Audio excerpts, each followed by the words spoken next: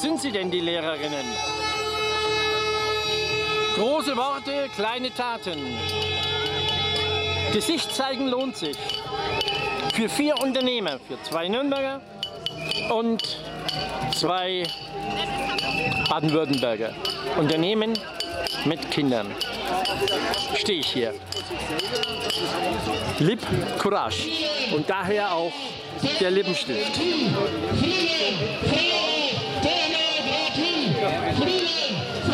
Es geht aber hier um Forschung, meines Erachtens.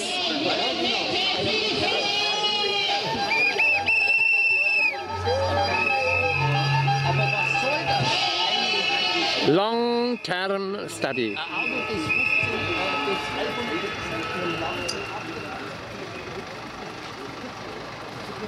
Kennen Sie den Spruch? Long Life, No Risk. Filmberg.com.tv